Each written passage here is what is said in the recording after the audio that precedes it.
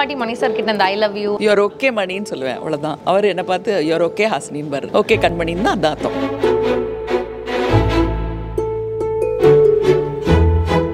ரெண்டு பார்ட்ஸ் முடிச்சாச்சு. எல்லாம் ஓவர் இப்போ சாரும் நீங்களும் எங்க ஹாலிடேக்கு போக போறீங்க?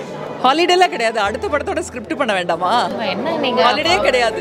நோ ஹாலிடே கொஞ்சம் சில் பண்றதுக்கு எதுவும் அப்படிலாம் எதுவும் பண்ண மாட்டாரா? அதெல்லாம் கிடையவே கிடையாது. உங்களுக்கு ஒரு விஷயம் தெரியுமா? வந்தவங்க எல்லாருமே சார் முன்னாடி எதுவுமே பேச மாட்டாங்க.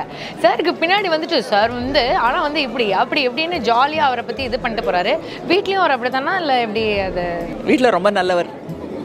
ஜாலி ரொம்ப ஜாலி ஃபன் கைண்ட்ஸ் ஒன்றும் பிரச்சனை இல்லை. லேட்டஸ்ட்டாக அந்த ஆடியோ லான்ச்சில் தான் ஆக்சுவலி அவரை பற்றி புகழ்ந்துட்டு இருக்காங்க நீங்கள் இப்படி திரும்பி அவரை அப்படி பார்த்து ரசிச்சுட்டு இருக்கீங்க ஸோ ஒரு நாளில் எத்தனை வாட்டி மணி சார் கிட்ட இந்த ஐ லவ் யூ அந்த மாதிரி விஷயங்கள்லாம் நடக்கும்? இது வரைக்கும் சொன்னதே இல்லையே. என்ன சொல்றீங்க? அவர் எவ்வளோ லவ் பண்ற லவ் தான் அவர் அவ்வளோ ஃபீல் பண்ணுவாரு. ஐ லவ் யூ சொல்றது நீங்க ஐ லவ் யூ சொல்றது நத்திங் லைக் தட்டா யுவர் ஓகே மணின்னு சொல்லுவேன் அவ்வளோதான் அவர் என்ன பார்த்து யுவர் ஓகே ஹாஸ்னின்னு பாரு அவ்வளோதான் ஓகே கண்மணின்னு தான் அதான் அர்த்தம். அப்போ ஐ லவ் யூ கொஞ்சம் கம்மி தான் இல்லை? சொல்லவே மாட்டோம் அதெல்லாம். அதெல்லாம் படத்தில் டயலாக்ல தான் எழுதுறது. அப்போ நம்ம இது ஒரு கம்ப்ளைண்ட்டாக அவர்கிட்ட சொல்லிட்டுமா? அவங்க இந்த மாதிரி எதிர்பார்க்குறாங்க நீங்கள் இல்ல வேண்டாம். அதெல்லாம் ஒரு நிமிஷத்துக்கு ஒரு வாட்டி பிபிசி நியூஸ் மாதிரி ஐ லவ் யூ சொல்லிட்டு இருந்தா அப்புறம் மாதவன் சொன்னார் தெரியுமா? அந்த மாதிரி. ஆமா. அது மாதிரி ஆயிடும். சொல்லி ஆகணும்.